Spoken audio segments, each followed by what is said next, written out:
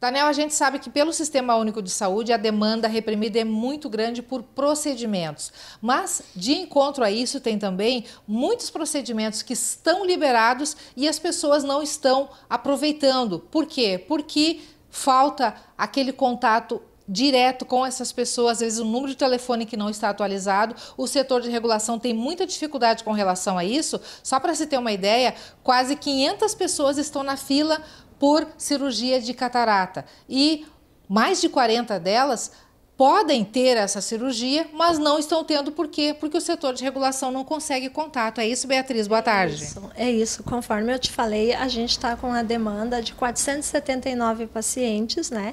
Entre 2023 e 2024. Eu estou à procura de 40 pacientes de 2023 que eu não consigo entrar em contato para chamar eles para autorizar a cirurgia deles, devido ao telefone estar inválido, bloqueado, não receber chamadas. Então, eu peço que esses pacientes que escutarem o programa, né, uh, procurem o postinho ou venham diretamente no setor de regulação das 7h30 às 11h30, saber sobre as cataratas de 2023, porque eu já estou chamando as pessoas de 2020, de janeiro de 2024. Está avançando o processo, então, só que esses retardatários precisam ser localizados. Sim, a gente conseguiu uma verba, né, para realizar estes procedimentos. Então, a gente já está organizando um mutirão de eletro, né? Os exames laboratoriais estão sendo agilizados pelo meio do consórcio, para os pacientes já serem agendados logo a cirurgia. Conversamos com o Instituto de Oftalmologia, eles abriram agenda para a realização de mais cirurgias, né? Uhum. Porque ao mês eram realizadas somente 15 ao mês, por isso que a fila aumenta, porque ao mês é 15 cirurgias somente eletivas. Uhum. E com a emenda impositiva e essa outra verba que a gente recebeu, a gente vai conseguir chamar mais ou menos em torno de uns 150 mais pacientes. Bom, o importante é que as pessoas então procurem o seu postinho de referência, que lá o pessoal tem o cadastro e sabe se tá para ele ou não essa cirurgia. Isso, ou vem aqui, aquele paciente que encaminhou em 2023 e ainda não foi chamado para realizar sua cirurgia de catarata, procure o setor de regulação das 7h30 às 11h30 para que eu possa autorizar a cirurgia dele, ele ir realizar os exames, levar os documentos lá para a no Instituto de Oftalmologia, tudo direitinho.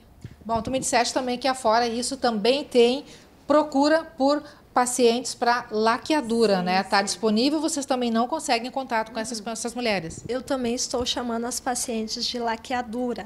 Eu estou chamando o mês junho de 2023, mas eu percebi que tem pacientes anteriores, antes de a, a fevereiro, março, abril do ano passado que eu não consigo também entrar em contato. Claro que muitas vezes eu mando foto uh, do, uh, dos cimos ali do paciente para o postinho localizar o paciente para mim. Uhum. Isso ajuda bastante também. Mas aproveitando a oportunidade né, da entrevista com vocês, eu quero pedir também para essas pacientes que encaminharam suas laqueaduras antes de junho de 2023, procure o setor também pela parte da manhã, da manhã para eu realizar a autorização da laqueadura, para procurar um médico. Existe um prazo, isso tem que ser o quanto antes, porque pode perder a oportunidade?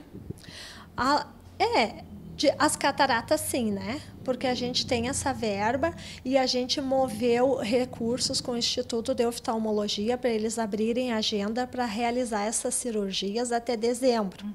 Então, esses pacientes de catarata de 2023, né, devem procurar o setor para a gente autorizar logo. E as laqueaduras, elas podem vir, né, que eu estou liberando também até dezembro. A dificuldade de encontrar essas pessoas é realmente a questão do Sim. contato desatualizado, é Sim. é isso, né? Telefone desatualizado.